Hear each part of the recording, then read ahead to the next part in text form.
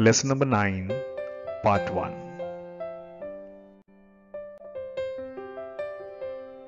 This session includes explanation and then exercise at the end of the explanation. Internet is defined as a network of millions of computers connected to each other worldwide through telephone lines or cables. Internet allows users to share ideas and search for information on virtually any topic that you can think of. Although the networks of today have provided great opportunities in almost all spheres, still there are various types of challenges and threats associated with them, about which we need to remain cautious all the time. This chapter, we'll give a brief introduction to several internet services such as email, online chatting, video conferencing, e-learning, internet free calls, e-groups, social networking, internet TV, and finally internet radio. Let's begin with the first one, email. Email is by far the cheapest mode of communication. It facilitates in sending the messages and files such as pictures, songs, videos, etc. to multiple people at the same time. 2. Online chatting. Now chat is more personalized form of communication and is live. This amazing way of communication allows users to send instant messages back and forth to each other. You can also interact with users through voice and video chats. Chatting on the internet can take place via instant messenger, chat websites, chat rooms, etc. Number 3. Video conferencing. A video conference can be described as a phone call with pictures that allows multiple people sitting at geographically different locations to communicate by exchanging video and audio at the same time. It's the best option to have face-to-face interaction in real time. Number 4. E-learning. E-learning means electronic learning. It refers to learning with the use of technology that enables people to learn anytime or anywhere. We can also download study material from universities which may incorporate, means include, various types of media like audio, text, virtual environments, video and animation. Number 5. Internet free calls. Another feather in the cap of internet is that it lets you make free voice calls and video calls to anyone across the world. Some software even allows you to send free messages and videos along with free internet calls. The only condition is that the particular software or application should be installed in devices at both ends. After installing the software on a mobile or computer system, you need to create an account on it. Examples of such software or applications are Skype, Viber, Fring.com, Tango, Rebtel, and Google Hangouts. Number 6. E-groups. An e-group or electronic group is a virtual meeting place for individuals who share the same interests. It provides a platform for people to share information on topics of their interests, messages, and photo albums. An e-group typically contains a discussion or message board where members can discuss topics of their choice by posting messages. All the members of this group can view or reply to this post. Number 7. Social networking.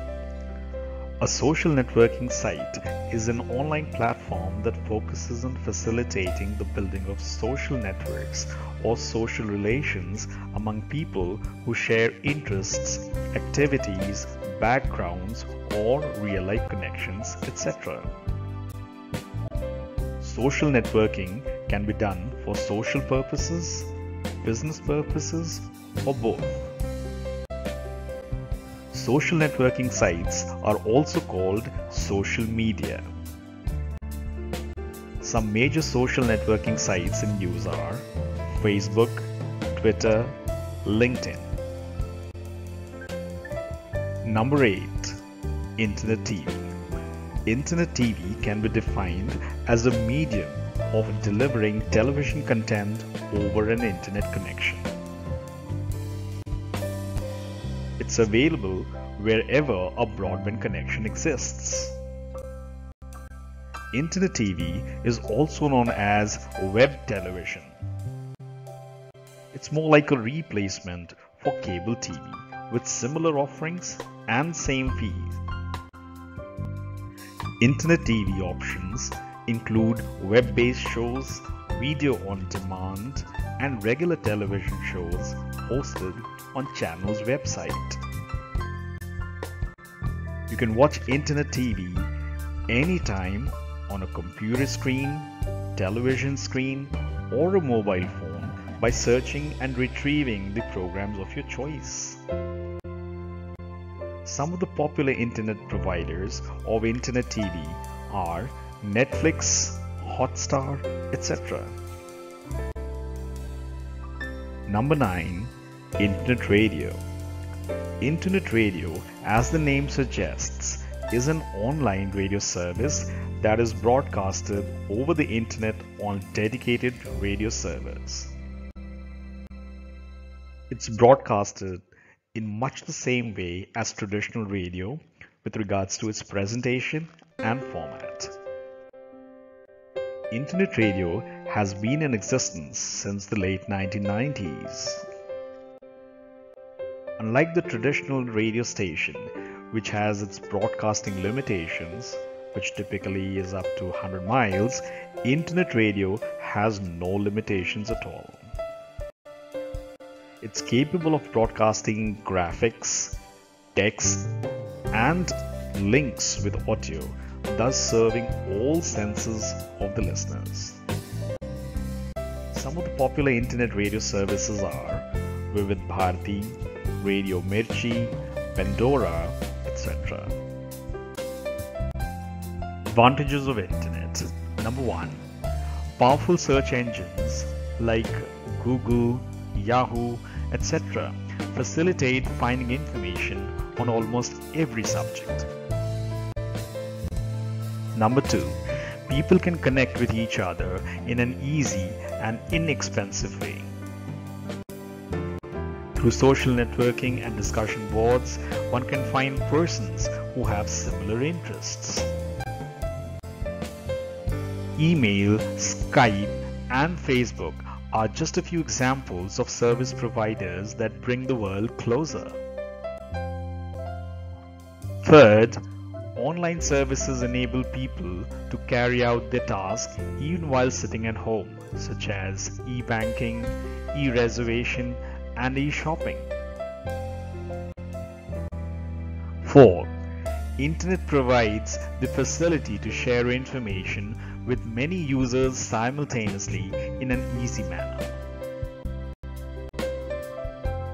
Fact 5 Jerry Yang and David Filo are the founders of www.yahoo.com. Yahoo is an American computer service company founded on March 2, 1995. Disadvantages of Internet Number 1. Sharing of information over internet is not fully secure, especially when it involves sensitive information such as credit or debit card details, passwords, etc. Moreover, the information you find on internet is also not always correct and accurate. Number 2. Computers connected through internet are prone to virus attacks. This slows down the system and can result in the loss of important data of a user. Number 3. Hackers attack computer systems on a network for monetary gains. They steal and transfer money from various bank accounts to their own. Number 4. Cyber crimes such as child abuse, forgery, phishing, pharming, etc. are growing day by day.